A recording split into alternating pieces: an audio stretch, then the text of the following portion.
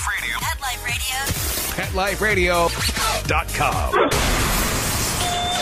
The Positively Hotline is ringing. We don't know what we're going to do. We have no plan. We're just here. Who's calling in this week? He went after her like she's made out of ham. That is interesting. That's exciting. Um, is somebody going to answer that? Hello, hotline ringing. You're on your phone, and I don't think you're taking any of this seriously. Answer the phone! It's Victoria Stilwell here. I am here at the APDT conference with the most amazing trainer ever. Her name is Sue Sternberg. I know you've heard of her. She is from the Rondout Valley Kennels up in New York State, and she's going to talk to me today. I actually had um, the chance to go hear her speak this morning on resource guarding.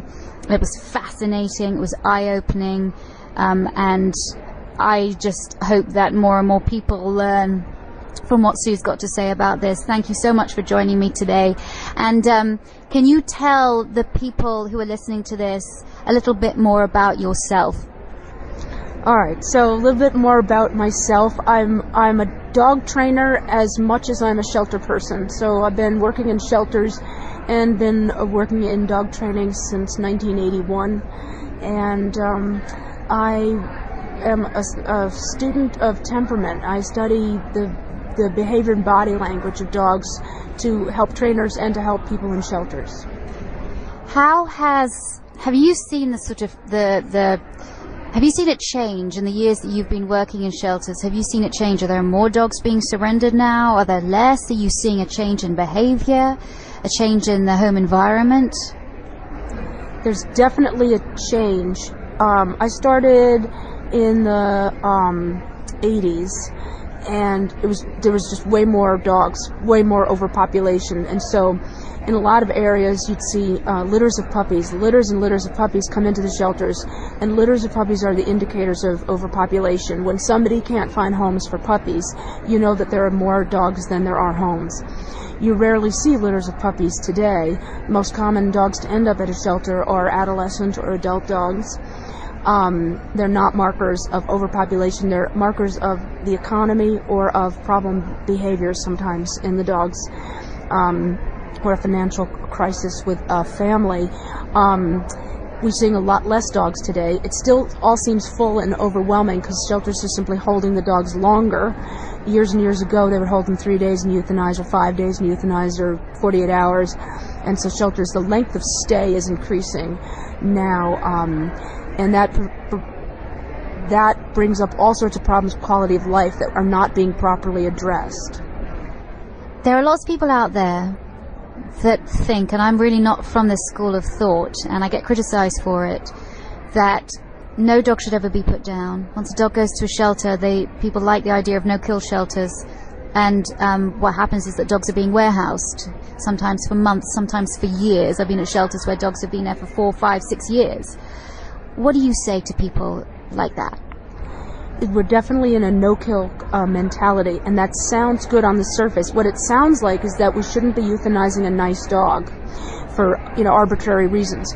The truth about um, what goes on is you say, well, what do you do with a dangerous dog? What do you do with a dog that shouldn't be out in your community, that is going to maul somebody, literally maul somebody, um, or you know hospitalize a child, or kill somebody, or kill your pet dog? There are dogs that should not be out in our community. There are dogs that simply are not pets. They're outside that range. They weren't bred as pets. They haven't been raised as pets, and now they end up in a shelter. And people think we can somehow churn them out as a safe pet. Cannot be done. Um, and when you when you say, well, there are dangerous dogs that you know, no matter how good a trainer you are, you can't make them viable. Then you say, well, what do you do with them? Do you keep them in a kennel, in a shelter cage, the rest of their lives? Because you're talking life lifetime, interminable amounts of time in in a kennel. And when you look at it through quality of life, and you ask, well, how do you deal with the behavioral, emotional, and mental health of a shelter dog who's there for the rest of his life because he can't go in the community, cannot be rehabilitated? Then the the no kill issue takes on a different tone, and then you're like, well, you know, is that life better than death? And of course, we don't know. We don't know, except I'll tell you that I've been traveling to shelters since 1994 I have seen way more cruelty to animals from within our country's shelters than I ever have from the general public.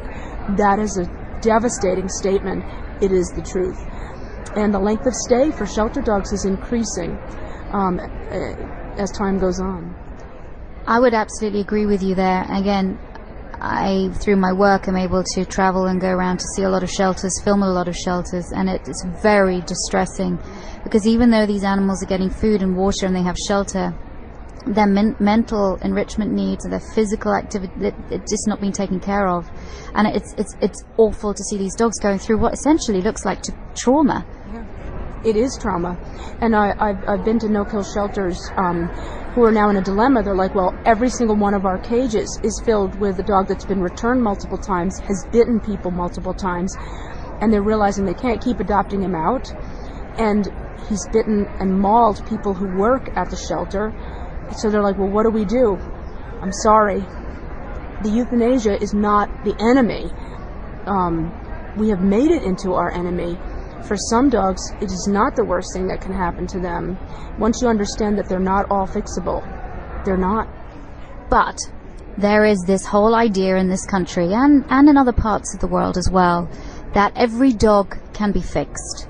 Every dog can be fixed, and no dog should be put down because of behavioral issues such as aggression and it's out there. And there are not just, and we're not just talking tens of people, there are thousands of people that actually believe it. And so if you do have, for example, on one of my shows, I had a Cocker Spaniel that mauled a child five times and scarred that child for life. Um, and when the, the dog was put down, I was called a dog killer. And I had all kinds of people that wanted to come and kill me um, they saw the child, the child speaking on television, showing her scars, and yet they still thought that that dog should be rehomed. Now, you, I know as well that you also get criticism for for saying that yes, some dogs are unworkable and some dogs should be euthanized. How do you deal with that criticism? How do you deal with what I essentially think and believe and know is ignorance? Oh, I tell you, it's very hard, and I um, it, it's it's appalling to me how cruel people can be to people in the name of thinking that we're being cruel to animals. And um, again, you know, I think once you've really seen seen a dog who's suffering every single day in a kennel environment in the name of no kill, the dog is aggressive, multiple bites, he's violent, low thresholds. These things are not curable and you're not talking about the dog is in a home, there's no kids around, there's a committed owner who will manage the dog. Even then, it's not curable. You just have to train somebody to try and sequester the dog into success. But um, these are dogs that don't have a home yet. Who's going to take this dog? And who wants the liability uh, of, you know, putting this dog out there? I will not do it. And I, um, I don't think euthanasia is the worst thing that can happen to a dog. Um, and, um, and yet, for doing it and for making that decision, very carefully making the decision. I have been threatened uh, in every single way. I've been called horrible things. I've, I've been, um, people, as it's obviously happened to you, say that um, I should be euthanized. And it's just, it's, um, there's some lack of humanity there. There's some there's a, it's a cruelty. I don't think you can be that cruel to a human and be kind to animals. I think being kind and compassionate with animals means you are kind and compassionate with, with human beings. Um, and when that when that goes awry, it's deeply disturbing. I res- very much respected what you were saying with the resource guarding um, today. Um, can you tell again those listeners what is resource guarding? When we say we use that term all the time, but for people who might not know exactly what it means, can you explain it? So, resource guarding is a term that we use when a dog um, uh, finds certain items valuable, like either food items, his food bowl, a bone, a, a certain toy, a ball, or his owner, or maybe one owner in a multiple owner household, um, where the dog finds any of those things so valuable that he would use aggression to protect and keep and uh, control access to that resource. Most commonly, you see it around food, um, bones that are chewed. Dogs will often guard um, the dishwasher with all the loading it up with the dirty dishes. Dishes. dogs will guard things that they can't eat fast enough or get, and if there's competition for it, you frequently see one a dog who will guard one uh, partner in the bed when the other partner gets up to go to the bathroom they won't let him back in the bed. They like to guard um, beds, uh, sleeping areas, resting areas. Some dogs will guard parts of their body, like don't touch my feet, don't touch my neck or my ears when I say so. So I think it's one of the most common forms of aggression. You can have dogs that are competitive and guarding who don't use aggression to do that, and that's really what we would want.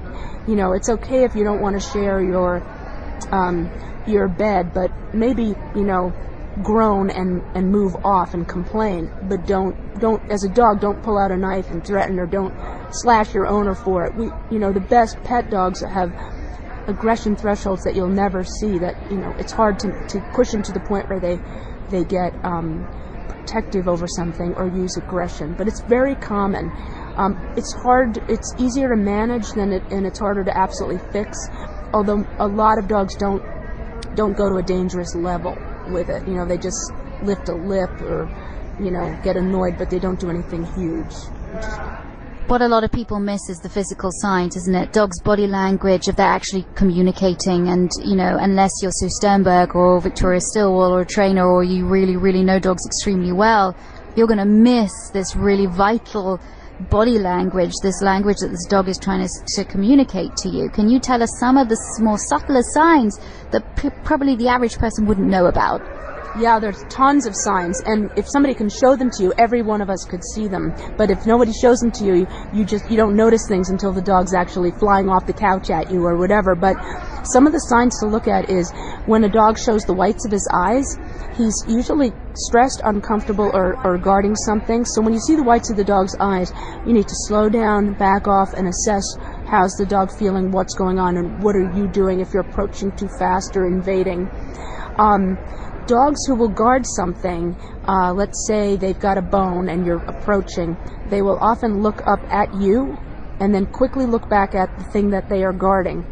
And um, that's a common behavior and a good one to spot. Freezing is a really common behavior, and freezing when a dog gets still, and it might just be one part of his body, he might just freeze his head um, and show the whites of his eyes, or freeze his whole body. That's usually the warning right before he's going to growl. But when dogs freeze, most of them are simply trying to communicate, hey, back off now, or I may have to use aggression. So if you can understand what he's saying and back off, um, you can avoid aggression. It's one of the reasons why children are most commonly bitten by resource guarders. They don't read any of these signs, and so the dog's uh, giving warnings everywhere, but he ends up biting a child. Now, I've seen videos, I've seen film of um, even supposedly knowledgeable trainers seeing very overt signs, but having this whole idea that the dog mustn't win, and they these trainers become extremely confrontational, very violent, and then the dog bites them. If we can learn anything from dogs, when two dogs are interacting, um, almost almost never do they resort to violence. You'll notice one dog might get angry at another or threaten to bite it. The other dog almost always gets completely still, neutral, looks away, and waits until the other dog has calmed down and then retreating. Dogs don't think of their interactions as combat or dominance or power or, you know, when you're interacting with dogs, it is not about who's going to win or lose during that interaction. Um, and especially with aggression, your goal with aggression is to keep keep that dog from pulling out his knife and his gun and, and firing it at you. And when he pulls out his knife or his gun, it is not the time that you go at him to overpower him, whatever. You got to say, look, this situation is lost. He has hit an aggression threshold. My dog is about to be violent. Don't fight. If you fight with the dog, it should be as a last resort because the dog is literally bringing you down and trying to kill you, and that is so rare. When a dog is aggressive, you do not counter it with aggression. You don't fix aggression with aggression. Um, you fix it by um, cunning and understanding it and trying to manage it if you can. um, no, we, we should stop confronting dogs and we should stop looking at our relationship with them as a, as a win or lose. It's not a game, it's not a competition, it's a partnership, it's a cooperation. Yeah, but that doesn't fit the whole kind of machismo kind of way that we have certainly here in the United States and in other and in other countries, does it? No. But doesn't it make for sexy t- television when you see man battle with dog and man wins and dog is submissive? I mean, we love that in our culture. We don't particularly, but people love that because they don't know any difference. Can you explain that? Um, I, I think what people love is the idea of a quick fix, a big blowout confrontation with some quick resolution. And TV can make a dog behavior problem look like in half an hour it's edited down to a final product. And in, in the in truth of dog training and behavior modification, first of all, very few owners have the time to do all the tedious amounts of work needed to move a dog's threshold to, to make him better. And um, and there's nothing glitzy or sexy or um, you know, um, slick about what, what real dog training and real dog behavior is like. It's slow, it's tedious, it's a tremendous amount of time and work, and then um, and it is never a quick fix. The, most dogs are not cured; they are better, and you learn to communicate with them better, and you learn to compromise on some of the, the triggers. But it makes for boring TV, and and you know, I I I have four dogs. I am their leader. I am their guide. I am their mentor. I am their role model. And I protect them. I, I take care of them. I take care of their needs. I certainly will say no if they need to hear a no. But um, I am not a dominatrix. I do not try to overpower them. We are in a partnership together, and it is of mutual respect. They don't they don't dominate me. They don't come at me. They don't use physical force on me, and I won't do it on them. I think you said the word leader. I mean, obviously, there's another word out there, pack leader, which makes me laugh, really, because hey, you're not a dog. You're not part of the dog pack. You're a human. A dog knows that you're a human. You're different from them. Um, but that doesn't necessarily mean you can't be a leader. You can be the kind of leader that can influence behavior in your dog without the use of this confrontation and force and this severe punishment. I also believe that you need to give discipline, but discipline to guide your dog into making the right choices, into setting your dog up for success, rather than this domination. Um, and it was interesting because what what you were saying when I started my show, which was in late 2004 I started my show, I was all about, oh, this is going to be so exciting. I'm going to show people how to train their dogs and more in a positive way. I was, I used more sound aversion when I first started, which I don't use anymore. But that's as far as I would go. And, um, and then very quickly I realized that's not what the producers wanted. That's not because to sit down and watch the whole process, A, you're going to be there for hours and hours and hours, and B, how boring is clicker training? How boring is clicker training to watch for hours and hours and hours? So I learned very, very quickly. And then I had this whole people coming up to me thinking it was done quickly. So then I had to go, okay, on my show, this is a long process. I'm giving you the tools.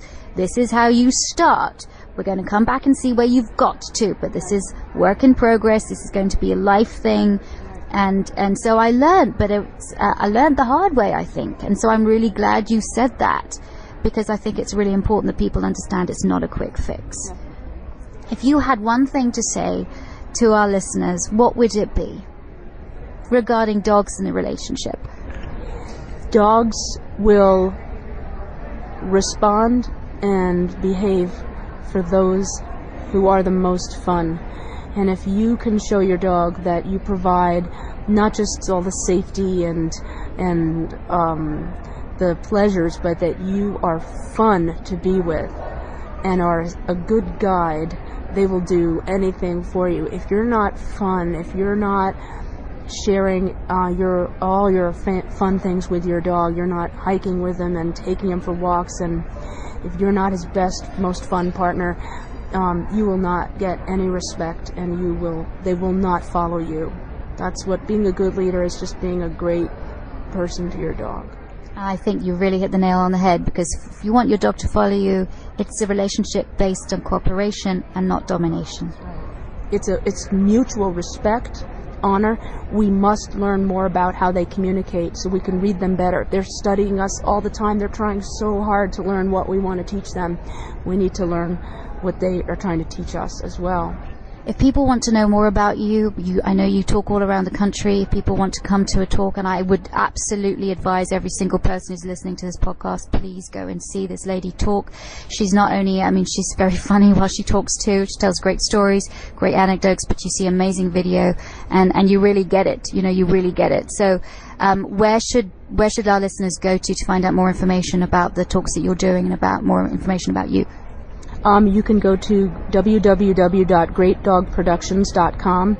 They have a uh, they sell all of my videos, DVDs, um, my um, dog park app, um, clothes and stuff to make you look good when you train your dog. And uh, they're going to take over and have all my schedule. You can also email me there um, and get a hold of me um, and find out where I'm going to be and what I've got available. Sue Sternberg, thank you so much for talking to us. Thank you so much, Victoria. Hey, you got something on your mind? What are you, a wizard, a genius? How do they make a miniature? I mean, is there some way, or some process they they physically miniaturize the dog, or is it?